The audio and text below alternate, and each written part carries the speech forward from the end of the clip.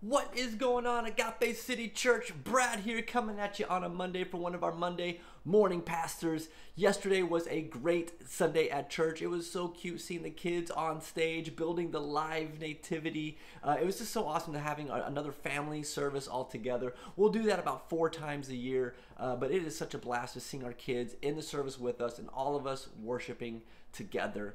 Um, hopefully, you guys were blessed by that service yesterday. Uh, I'll tell you another way we were blessed was uh, a couple members of the church, uh, some uh, sweet sweet ladies, uh, brought me a giant tray of cookies, like like just heaping tray of homemade cookies, and some had some you know powdered sugar on them, and some had the, the peanut butter you know fork things. Why do we put the fork?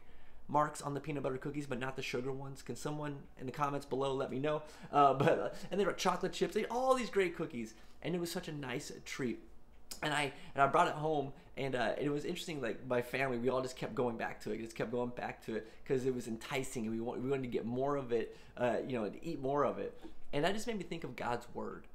Like that's what the Bible says God's word is supposed to be. Like the Bible is supposed to be like that. A book of Ezekiel, chapter three, says that the, the, the words of God should be on our lips and it should taste like honey. Like not that we're like supposed to like actually eat the book, but like we should read it and it should like wash over us. It should satiate us. It should inspire us, and, and we should fall so in love with it. That just like my family, every time they walk by that tray of cookies, they're like, "I'm just gonna grab one more. I'm just gonna grab one more." Like we should be so in love with Scripture. Like I just want to read one more Scripture. I just want to read one more Scripture. Like uh, for my reading plan right now, I'm in the book of Job. In Job chapter 23, he's talking to his friends who are kind of accusing him of, of sinning, even though he knows he didn't. And this is what he says to his friends, and, and I love it. He says, uh, Job 23, verse 12 says, I have not departed from the commands of his lips. He says, I have treasured the words of his mouth more than daily bread. Job is telling his friends, I not have gone I'm not gone against the commands of God and I value the words of God more than daily bread, more than a tray of cookies. I want God's word in my life. And I see that all throughout Scripture the importance of God's Word, the importance of being in Scripture, that it's supposed to be our, our daily bread. It's supposed to, man does not live on bread alone, but the very Word of God. That's what Jesus says. And so, wouldn't it be a shame if you and I were starving ourselves of the spiritual food that God always meant for us to eat?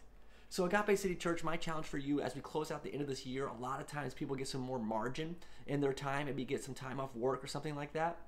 Maybe maybe instead of you know listening to another you know social media post or a TikTok video or something, maybe this is a good time to open up the Bible app, find a reading plan for a week or a few days that goes over a topic that you care about, and open your Bible and actually read what God's Word has to say to you. And then know this going into 2023, I always read through the complete Bible in a year. I do the Robert Roberts reading plan. It's the Old Testament once and the New Testament twice in a calendar year. So, Agape City Church, if you want to follow along with me and be on the same reading plan as me, uh, you can go in the YouVersion app, go to Bible plans. On January 1st, start the Robert Roberts plan and we'll be synced up and we can do that plan together. But my challenge for you this week is just like that tray of cookies was calling for us and we were just going back and grabbing some more.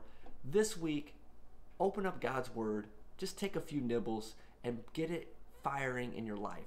Because I believe God's Word will show up and he will, it will inspire you to do God's will. And so Hopefully, you guys have a great week this week. I can't wait to see you all at Christmas Eve service outside. I know it's going to be cold. We're going to bundle up and we're going to bless our city. I love you all. See you later on. Peace. I'm out of here.